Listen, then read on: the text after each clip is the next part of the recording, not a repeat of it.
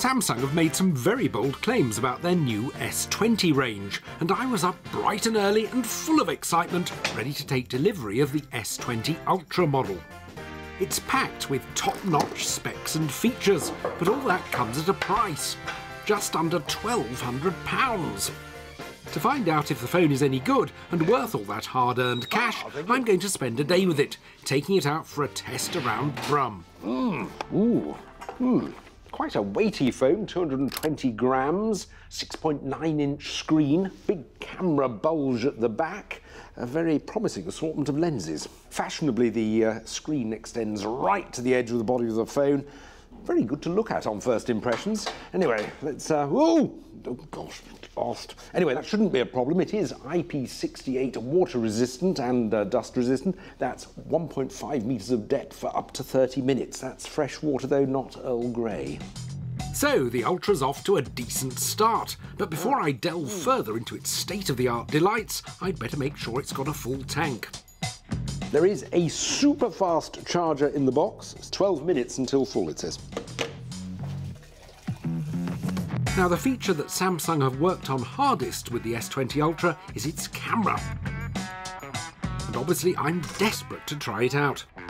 Samsung's calling the S20 Ultra the phone that will change photography, which is a pretty bold claim.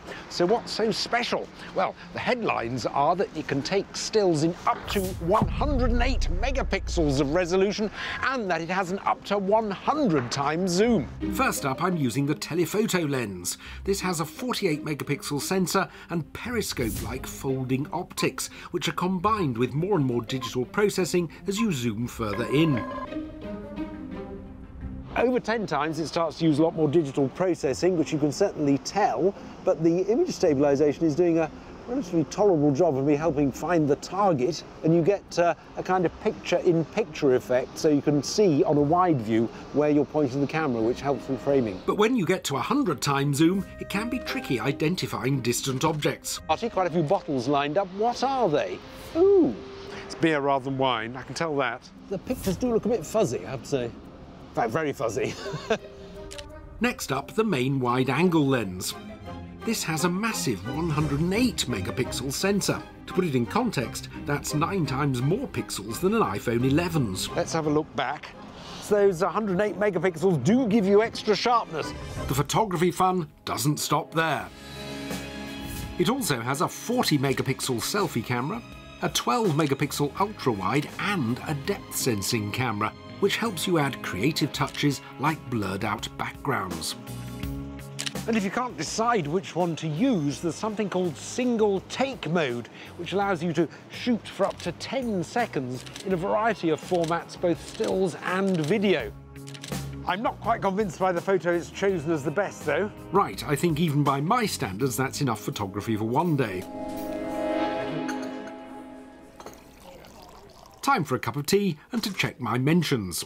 The S20 Ultra is running the latest version of Android, Android 10, and it's overlaid with Samsung's One UI 2.1 interface, which is making my essential journalistic research quite a smooth experience. The interface aims to keep your interactions at the bottom of the phone's screen, leaving the top as a viewing area. It's got Face ID and fingerprint security. The fingerprint reader is hidden beneath the screen.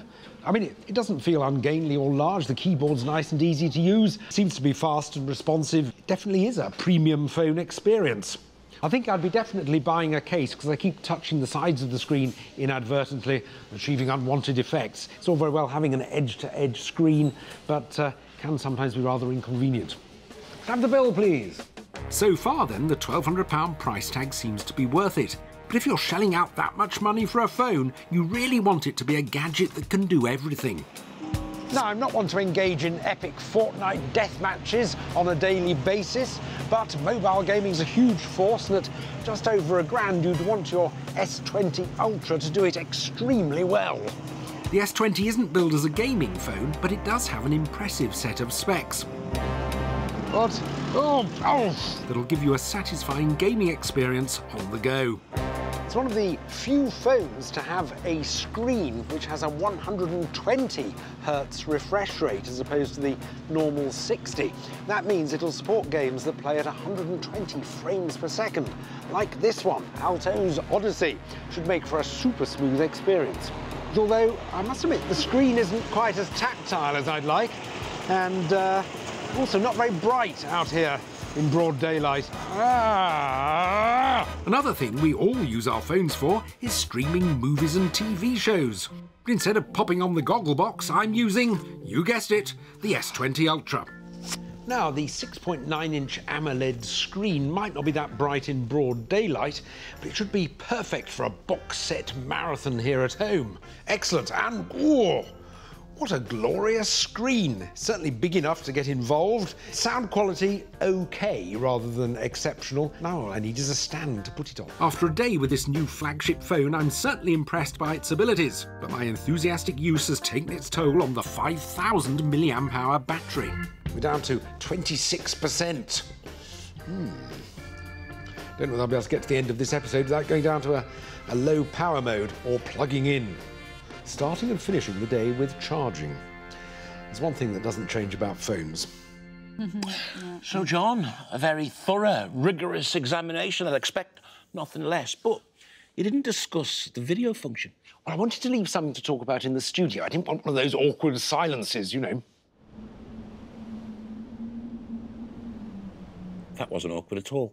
No. Tell us about the video function. Well, it's improved. They've got better image stabilization. I tried it out earlier, actually, on, on the staircase outside. Left hand side, no stabilization. Right hand side, image stabilization, which now features AI to help it along. And I think it does a, a pretty good job. Mm. It can also now shoot in 8K video, which I will demonstrate by taking some nice shots of Ortis and Georgie here. If you do your very best nice smiley faces. And... Ah.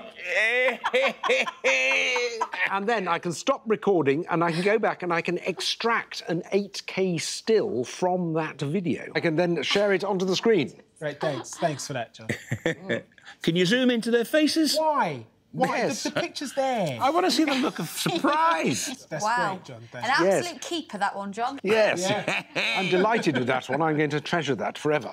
Yes. OK, so, Jon, in summary, what do you think of the phone? Well, I, if you're after the best camera in a phone, it's a choice between this S20 Ultra and the Huawei P40 Pro at the moment. And uh, Huawei doesn't come with Google services, so this has a lot going for it.